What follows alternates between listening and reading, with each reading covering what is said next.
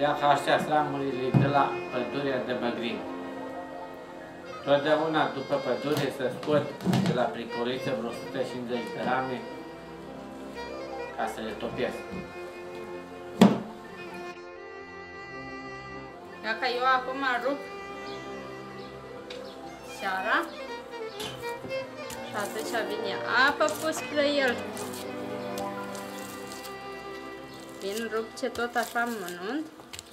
Acum am terminat de rupt și iar aici am pus furtunul să umple de apă. Asta tot și acum să chicesc ramele frumos. Și am pus greutatea ca să nu se ridice șara când se umple cu apă. Ia că acum umplem sacul cu șară.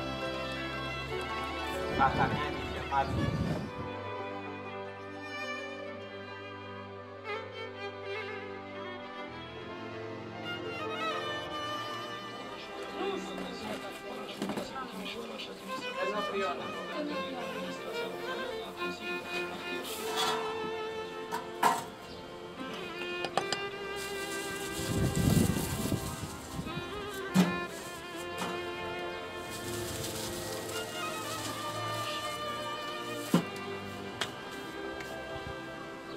niște mari. Ia că acum merg eu așa pe tropișul ăsta la lemn de ploaie și de umbre. Dar din baș umbră, mă aparim jumătate de cap. și acum merg, pune în apă și o punem acolo. Din cauza că pe urmă și ala aia o să arăte mai târziu, iar trebuie să se topiască, să o facem calup.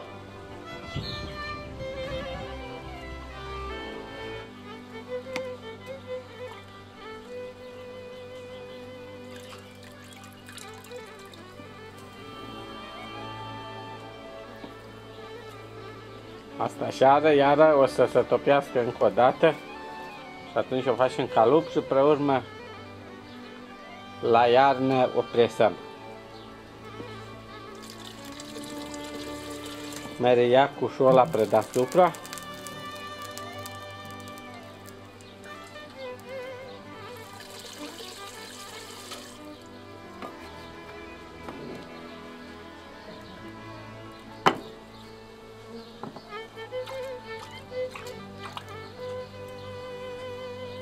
Când se încălzește apa, o teră o șarge la mâini. Schimbi o apă, pun apă rece. Și-o gătat seara de fiert și acum trebuie scoasă boștina. Așa îi zice la seara asta a neamului și-a rămas. Eu nu trec prin presă, eu cât o curs, o curs, că și boștina o vin, lupege, unul din Sârbia. Ia sacul ăsta, e așa greu, o țără prinde.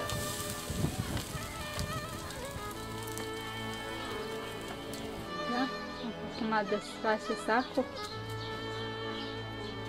Deci legăm sacul, o țără musai cu combiniri și le așa să lucrăm, că ce arde la mâini. Dar el nu poți să-l aștept rece, că atunci rămâne presat.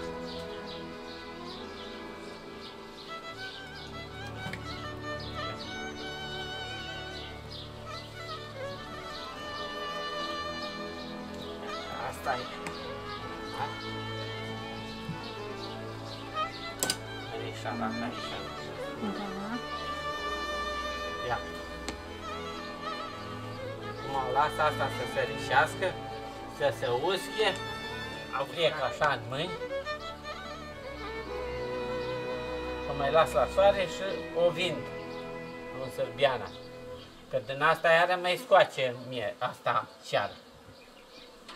Mai eu cu sacul nu pot să scot tot.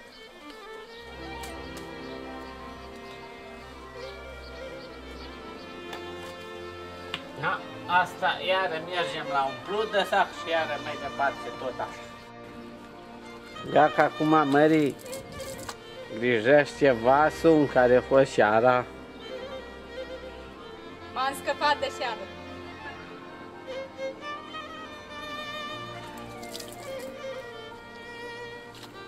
Până la toamnă. E acum e ultima fază. Ultima fază, da.